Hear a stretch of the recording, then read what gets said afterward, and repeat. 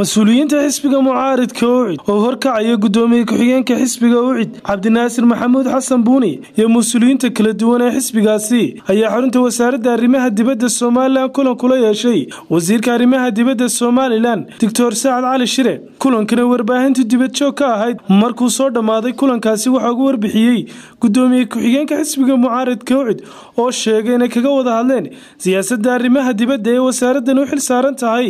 Iyo arrinta la xidhiidh iyo shirkadda maalgashiye laga diiwaangeliyey dalkaasi sutaga imaaraadka carabta. Oo maalmihii ugu dambeysay hadalhaynteedu taagnayd. Waa kan gudoomiye ku-xigeenka. Oo arrintaasi ka hadlaya. Anagu siyaasaddaa qaadanay waxa weeye in dalkan loo turo.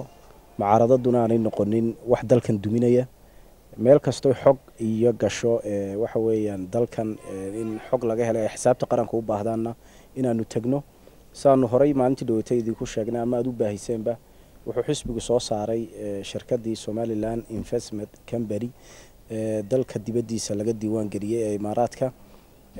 In waxa weye xisbigu uu qaatay go'aan rasmiga ka soo saaray in hawshaasi la daraasad laga sameeyo daraasadaasi si xeel dheer loo sameeyo.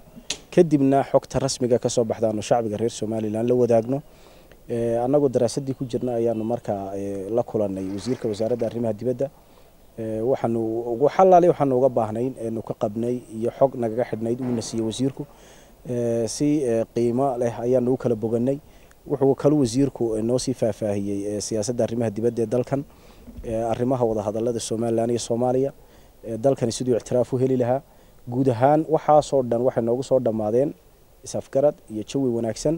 Xogtii shirkadda ku saabsanaydna xisbi ahaan annagu way noo sii soconaysaa. Ismaan axmed ismaan star t v. Hargeysa